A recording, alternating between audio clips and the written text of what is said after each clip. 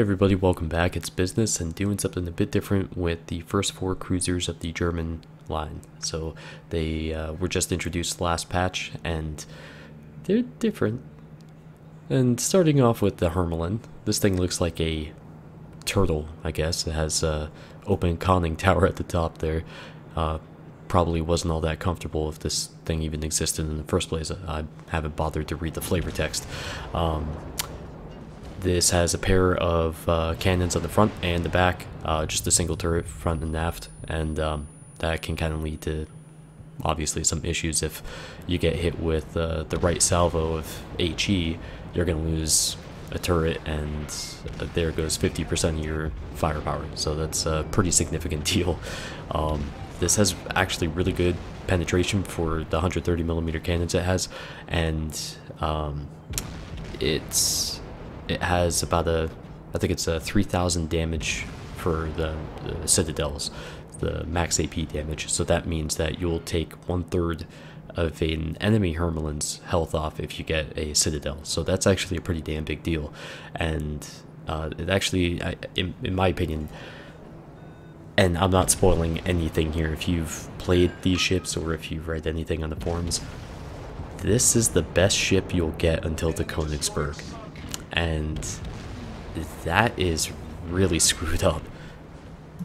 In, in case you haven't bothered with them yet, uh, the Königsberg is tier 5, and the tier 1 is the best ship. you know, there's there's something wrong with that. Um, I'll explain when we get to the next ship because it's the same problem that's present on that ship as the next and then next ship. But um, you know what I like about the Hermelin is that, you know, and this is true for the first three ships, is that, you know, it does have a fast rate of fire, um, and that's affected uh, in a pretty good way, in, uh, in a positive way with the uh, captain skills, the first uh, captain skill with the uh, basic firing training where you get, um, you know, further reduced uh, reload time and um, I mean, if you're talking about these little knife fights that you get at tier one um, against whether it's you know the the same tier ship or higher, um, every single second matters, and you gotta try to get those shots out as uh, fast as you can. So uh, when you're talking about a half second of reload time, um, that can actually make a difference between life and death, and um, I really like that. So. Um, look at the, look at this thing. It, it just looks like a freaking tugboat with a couple guns. It's just so adorable. And yeah, uh, it doesn't take damage very well, I'll say that. Um, it's very easy to lose your health in the blink of an eye with this ship. It's just not exactly the sturdiest of ships, if you will. So moving on to the Tier 2 Dresden, um, certainly has a look that's quite early uh, turn of the century type of thing, you know, World War One. Uh, certainly has a lot in common with the St. Louis aesthetically speaking, and uh, does have a lot of guns as well. Um, you upgrade the hull, and uh, there is an FCS upgrade too.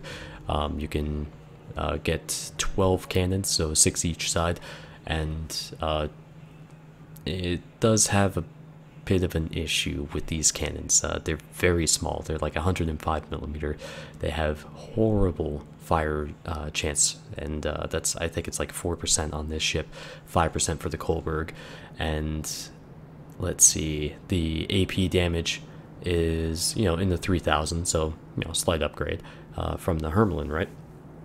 The problem is penetration.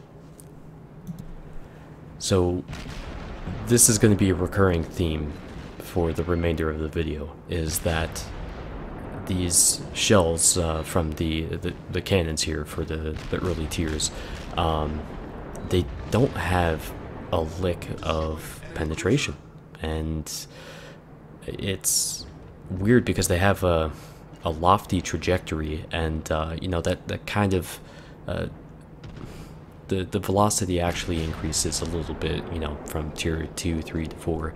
Um, you know, the same range as though the uh, Karlsruhe at tier 4 is a little faster than the Kolberg at tier 3, which is a little faster than the Dresden here at tier 2. And, um, you know, they should be hitting harder, but they don't. And, you know, it feels like the Dresden is actually better suited to fight enemy destroyers than ever is to deal with enemy cruisers or uh, like in the off chance you get in a match against a um, say a South Carolina or a uh, Kawachi um, you know you're not going to burn them down. You're just going to annoy the hell out of them uh, you're going to do so little damage to them with HE because it has such a low fire percentage uh, chance. And then also the fact that you're hardly doing any damage as it is. I mean, the max uh, a, uh, HE damage is 1700 or, you know, something ridiculously low like that. Um, now, again, obviously these are small cannons. They're only, uh, they're just barely over 105 millimeters. Uh, the Nagato has uh, a better complement of secondary cannons than this does primary uh, armament. So that's kind of telling as to what you're dealing with here. And, you know, the tier 3 Kolberg is a very similar setup. Um, they're barely distinguishable, actually. And here the uh, the Russian destroyer, he's actually taken some damage, but I've, I barely feel like I could do that against the uh, enemy Hermelin there. And I do get the kill there, but uh, this didn't have a happy ending, so we'll just move on to the Kolberg at uh, tier 3. And again, aesthetically speaking, I kind of like how this ship looks. Uh, has a little bit more of an angular uh, front end, and um, as you can tell, who's in the division here, we're all trying to just chug our way through these ships uh, just to get to something that's uh, enjoyable or worth playing. But uh, again, this has a hull upgrade as well as an FCS upgrade. It uh, doesn't receive any additional guns. It does have uh, a reduction in its uh, rudder shift time it does have a little boost to its health pool. Um, the rudder shift goes down to, I think it's uh, 6.8 seconds from 9.6, so not that bad, but again, as with the Dresden, it is slow. I mean, it, it's not like you should expect the um, German cruisers uh, this tier to be uh, quick like a uh, Tenryu or a Chikuma or something, you know, but um, it does have uh, a, a, lot of cannons. Again, I um, pretty sure it's 12 of them. So, uh, you know, it does look nice. Uh, just the slightly more beefy looking version of the Dresden. But the continuation of just meh kind of behavior, the the I, I can't even say the qualities, just the, the attributes. Qualities is simply too positive a, a word to use for this. Um, you know, I I did kind of like the Kolberg, I suppose, just slightly more than the Dresden, but considering where that lies in my uh, list of ships that I'd like to play again, um, that doesn't really mean anything. And you can see all this. like we, we got we have a bunch of Kolbergs, we have Dresden over here, and we just can't kill this poor ship that's AFK or crashed or whatever. Um, you know, I mean, consider how many damn shots were coming in at him, right? And uh, it just, damn, this is depressing. I, I honestly think that with the testing, if you want to call it that, the testing that was done, um, you know, at the the last patch uh, before this patch came out. I'm sorry. Um, everybody just ran up through the tiers and wanted to try out the Hindenburg, the Roon, the Admiral Hipper at the higher tiers, and nobody paid attention to these ships. I mean, it really looks and feels like, I mean, they, they seem entirely to me that they're an afterthought, and um, by comparison to the other ships in, uh, in already in the game as far as the, let's see, the St. Louis, the uh, Tenryu, the Kuma, the Phoenix, um, these don't hold a candle to him at all. And again, like I said, the tier 1's the best ship. I would rather have that in every single situation than any of these because at least I could feel like I was actually doing something. And um, I don't know, it's just, it's unfortunate because I, I was looking forward to trying these ships out, you know, try to get used to some different qualities for the ships, and um, it there's just nothing that comes through, comes off as exciting about the uh, these initial ships. And then we get to the Karlsruhe. I mean, this ship has already earned a number of different names for it. The Karlsballs, the Carlsbad, etc., etc. Um, frankly, this is a piece of shit. Um, there's there's no subtle way to say it at all. Uh, you pretty much have the same stats with the 150 millimeter cannons. You have uh, terrible fire percentage uh, at eight percent. You have hardly any type of damage upgrade there.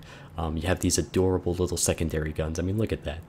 I mean, you just want to hug them. And actually, honestly, considering how small those are, I'm actually really impressed with the level of detail that's on them. So hats off to Wargaming on that. And oh, I'll, I'll say that about all the models. I'm always very impressed with them. Uh, this does have a pair of torpedo launchers. Uh, they're 2x2s, so um, you know there's just a twin launcher on each side, and that's it. Uh, they only launch two torpedoes, and they're slow as hell. Uh, I think it's 58 knots, and uh, you can upgrade them to 57 knots. Yay! But it does get a uh, a healthy boost in range at 50%, uh, so it goes up to 6 kilometers overall. You do have a FCS upgrade as well as the hull upgrade too, and um, yeah, you don't get any more guns, I believe. You just get the uh, the health and uh, maneuverability upgrade. So, um, you know, that's something, I guess.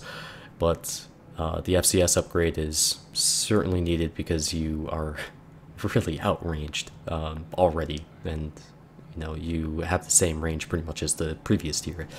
Um, you know, aesthetically, it um, I definitely prefer the tier three uh, Kolberg over this, but you know that's one of those things. Whatever. And uh, by the way, all these skins are from uh, let's see, the models by Tanz, the uh, skins by Tanz, I should say. Um, I'll provide the link, of course, but uh, it just looks better than the crap that's, uh, you know, handed to us from Wargaming with all the rust and everything. So uh, definitely always appreciative of any of those uh, skins. And as you can see, I am running the gold camo, the 100% increase for the uh, XP as well as the 4% reduction to enemy accuracy when they fire at you. Um,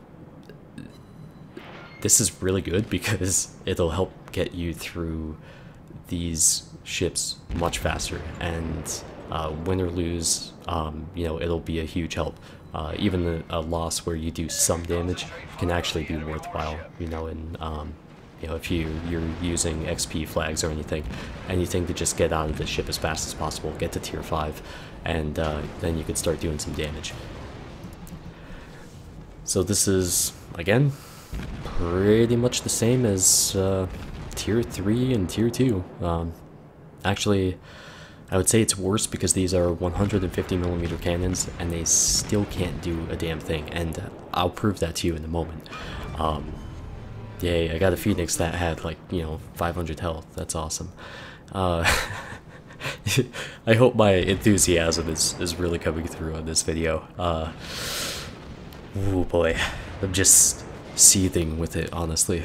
And at this point in, in this particular match, um, we're being corralled. Uh, you know, we can't do the damage to keep them away. Uh, you know, the destroyers are coming in at, uh, at enemy cruisers.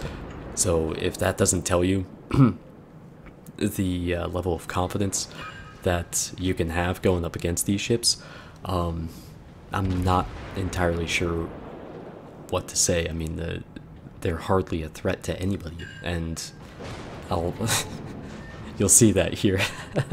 this is so embarrassing. I I feel like I should really take a lot of this blame. Like if I was in any other ship, I'd be like, wow, I sucked a huge amount of ass in the sequence. But this is just kind of what happens in the ship. Uh, I mean, I've played it a few times and um, admittedly not a lot to really get used to it, but uh, how can you possibly get used to being rushed by destroyers and not killing them? Um, I did have my torpedoes on the uh, the port side get knocked out, so unfortunately I wasn't able to uh, herd these guys away from me and just you know have a little bit more of a buffer space. Um, and I'm trying to wiggle a little bit back and forth here, adjust my uh, throttle and everything. Uh, luckily, their initial spreads go uh, rather wide, but uh, The other ones, I, I'm not so lucky. And look at this. 560, I mean, what the hell am I even doing? Like, what's the point of bothering with this shit? You just, hey, this is so frustrating. it's like, I'm not even, like, this is a few days old and I, I can't believe how bad this is. Just watching this, it's so embarrassing. And just to help drive the point home, um, I want to show you this particular clip that if this doesn't explain or exemplify, I should say, the the troubles that everybody's having with these particular ships, and especially at Tier 4 with the Karlsruhe, um, I, I don't know what to tell you. Uh, this is plain evidence that the ship is clearly not balanced. And I'm going up against an Omaha here, right? This is the side, he's only a few kilometers away.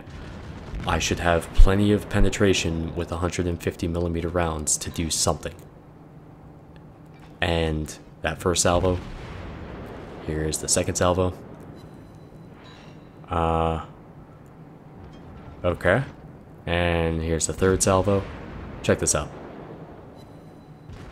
Yep.